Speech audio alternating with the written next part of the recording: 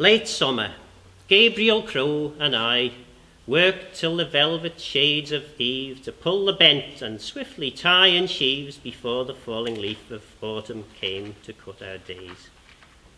A gentle warmth and gentler breeze when Gabriel, in his well-worn ways, drives south beneath the fading trees, with me, the younger, at his side, with fragrant bent that packs the van. For southern lands we swiftly ride to thatch the ancient crafts again. Now all the old is stripped away. Atop the ridge his ladders slung, old Gabriel's hands fast weave and ply the green fronds in a silent song. And I, the humble helper, cart away the old thatch of the field where it burns. At once my heart does life, as to my eyes revealed dusk's beauty o'er oh, the green-clad hills, now darker in the dying sun, though yet the azure ocean thrills with crimson gems that dance upon. Then soft the mantle creeps above to chase the sun's last holy light, and we whose hearts have known of love speak welcomes to the coming night. Across Port Erin's headlands high, as if some sudden ballroom bell laid out her sequined gown for me, the lamps now twinkle o'er the hill, in union with the star-hung sky.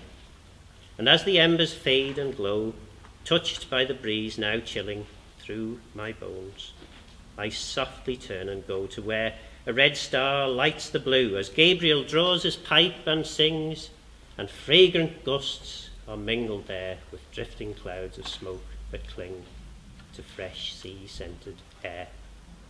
Together now we lower down the ladder for another day. We see below the starry crown a trawler's lights out on the bay.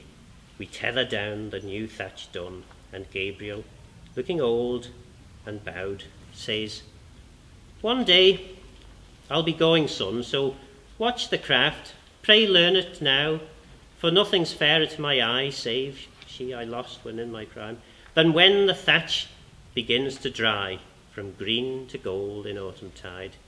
For son, at my uncertain age, I've nothing left save quiet pride, that with your hands our heritage may live long after I have died. With that, we take the road for home as low the foghorns boom farewell on headlands gaunt, a tower of stone stands ringed by mist, a sentinel, three more fine days, and maybe then the green thatch tied and trimmed around.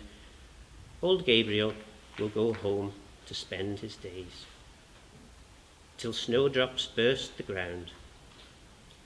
When comes the warmth, we'll meet, old friend, to thatch the ancient crofts again.